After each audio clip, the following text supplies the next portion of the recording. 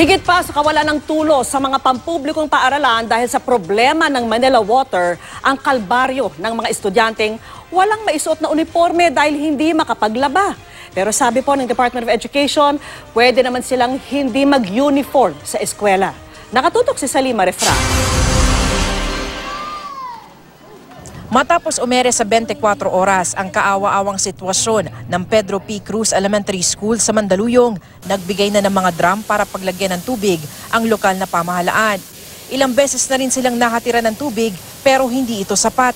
Imbes na ah, tag-isang tabo, kalahating tabo na lang ibubuhos nila para magkasya. Ang mga banyo nalilinis na at bahagyang bumuti na ang amoy pero mabilis na nauubos ang imbak na tubig.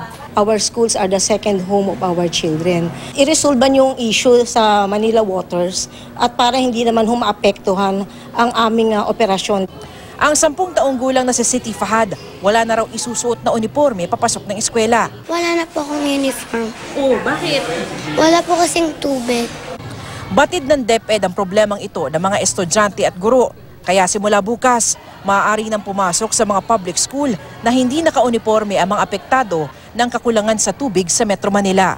We will be very flexible. Ang pinaka-priority natin ay ma-maintain natin na ang mga bata at guro ay papasok.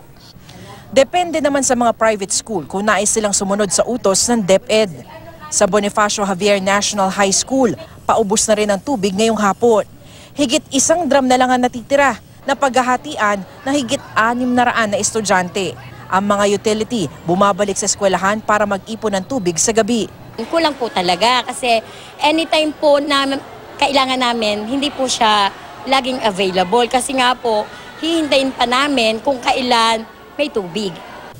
Ayon sa DepEd, naka-activate na ang mga Crisis Management Committee sa mga eskwelahan. Hindi naman daw magkakansela o magsususpinde ng klase ang DepEd dahil sa krisis sa tubig. Hindi po kasi ah, solusyon na huwag papasukin ang mga bata sa eskwelahan dahil kailangan nilang habulin yung kanilang minimum contact time. At uh, magkakreate tayo ng another problem. Salima Refran, nakatutok, 24 oras.